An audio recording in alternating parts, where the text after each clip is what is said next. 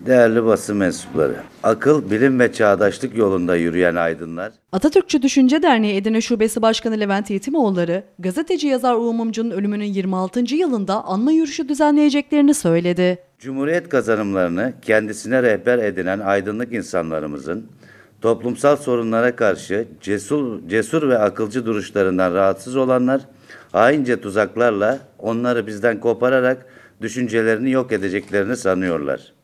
Atatürkçü Düşünce Derneği Edirne Şubesi 24 Ocak Pazar günü yürüyüş düzenleyecek. Gazeteci yazar Uğur Mumcu'nun 26. ölüm yıl dönümünde düzenlenecek anma yürüyüşüne Atatürkçü Düşünce Derneği Edirne Şube Başkanı Levent Yetimoğulları herkese davet etti.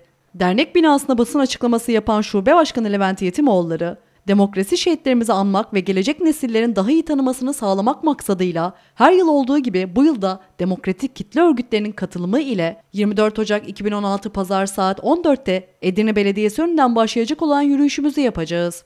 Uğur Mumcu ve demokrasi şehitlerimizi anma yürüyüşümüze ve Atatürk Anıtı önündeki basın açıklamamıza Cumhuriyet'in kalesi Serhat şehrimiz Edirne'nin tüm halkını davet ediyoruz dedi. Her yıl olduğu gibi bu yılda demokratik kitle örgütlerinin katılımı ile 24 Ocak 2016 Pazar günü saat 14'te Edirne Belediyesi önünden başlayacak yürüyüşümüzü yapacağız.